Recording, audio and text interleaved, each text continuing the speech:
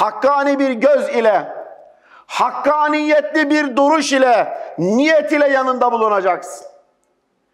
Eğer zerre kadar batıl bir düşüncen var ise, zerre kadar dünyalık bir emelin, maksudun, maksadın var ise, Allah'a vasıl olmak sana haram olur. Yapma. Allah sana kimseye nasip etmediği o güneşi nasip etti. Neden karanlıkta kalıyorsun? Neden basit fikirlerin peşine düşerek dalalette kalıyorsun? Neden? O güneşin nurundan aydınlansana. Ondan istifade edip Hazreti Allah'a seyri sülük yapsana. Neden meşgul oluyorsun boş işlerle? Neden makamla mevkiyle meşgul oluyorsun? Neden? Allah'ın bizleri o mürşidi kamillere teslim eylesin. Cemaat-i Müslümin. Mürşidi kamilin yanına gittiğin zaman da kalbin temiz olacak. Herhangi bir beklentin olmayacak. Boş bir kalple gideceksin ki o mübarek doldursun orayı. Sen dolu bir kalple gidiyorsun. Arzu ve isteklerle gidiyorsun. Bana şu makamı verse diyorsun. Bana şurada işte şu imkanı sağlasa diyorsun. Cemaat-i Müslümin ihvan edin. Allah'ın bizleri hakkaniyet niyetleriyle yanında bulunmaya, onun yolunda bulunmaya muvaffak eylesin. Amin. Efendi babamız buyurmuş ya, evladım Mahmud, insanlar sana üç sebepten gelecek. Bir, evlenmek için. Allah Allah. Hakikaten bakıyorsun, dışarıda evlenemeyen insanlar hocaların yakasını tutuyor. Hocam ben evleneceğim. E, evlendirme memuruyuz ya biz. Niye bizi arıyorsunuz ki? Hakikaten soruyorum. Hocaların böyle bir yetkisi mi var ya? Sanki hocalara insanlar diyor ki hocam benim çocuğum evlenme yaşına geldi. Münasip bir kişi bulursanız sebep olun diyorlarmış gibi evlenmek isteyen bakıyorsun insanlar geliyorlar hocalara. Hocam beni evlendir. Ya böyle bir şey yapmayın. Hocanın vazifesi bellidir.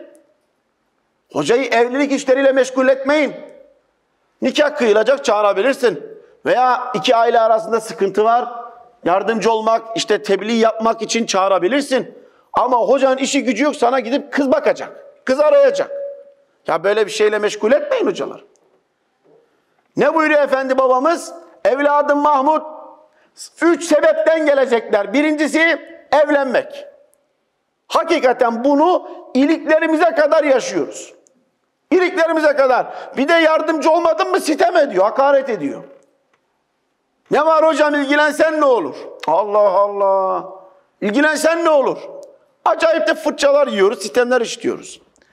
İkinci, dünya için, ticaret için, mal kazancı için, o mürşidin yanında bir dükkan açarsam, o mürşit benim dükkanıma uğrarsa, ona bir şey ikram edersem, onun vesilesiyle ben zengin olurum. Zengin olmayı arzuluyor adam.